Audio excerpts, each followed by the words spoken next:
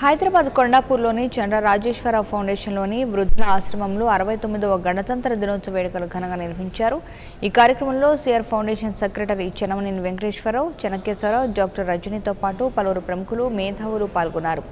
ఈ సందర్భంగా జాతీయ జెండాను డాక్టర్ సరస్వతి ఆవిష్కరించి రిపబ్లిక్ డేని పురస్కరించుకొని నిర్వహించిన క్రీడా పోటీలో గెలుపొందిన విజేతలకు బహుమతులు అందజేశారు.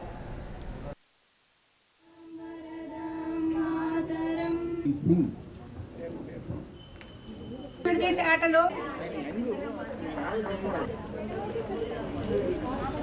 సిబ్బందుల విజేతలు. మణి.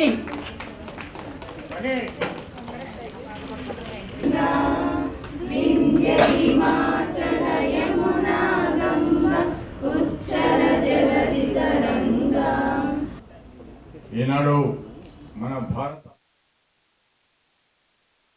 వారు వారి తెలివితేటలు ఉపయోగించి వాళ్ళని వీళ్ళ దగ్గర వాడి దగ్గర కూడా దాని వాళ్ళు చేసే సహాయం బదులుగా భూమిని తీసుకున్నారు.